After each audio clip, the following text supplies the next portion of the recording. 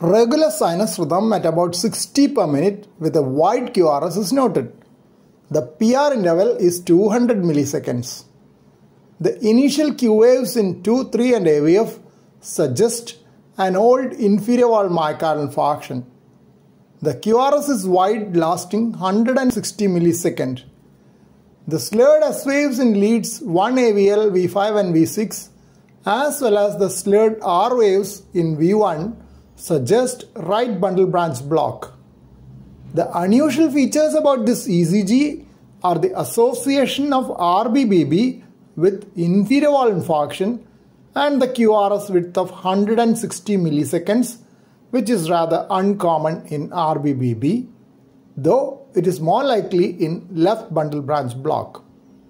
RBBB is unlikely to be due to the inferior wall infarction as the coronary territory which supplies the inferior wall is less likely to cause RBBB.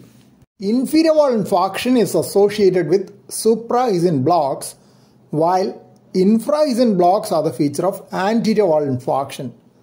In supraHisian blocks, there is no QRS widening or bundle branch blocks.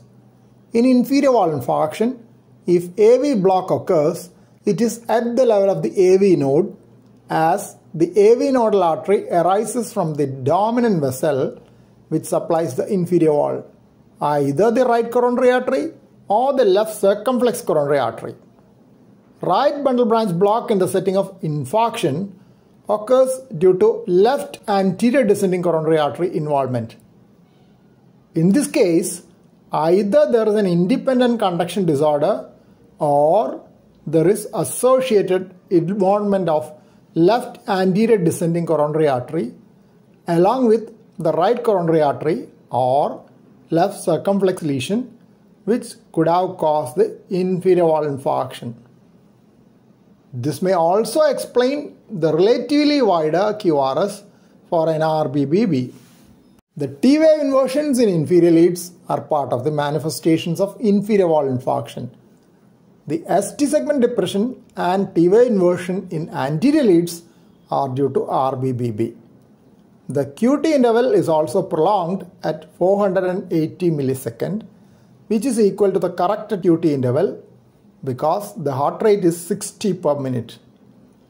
The wide QRS and QT interval places the person at risk of ventricular arrhythmias.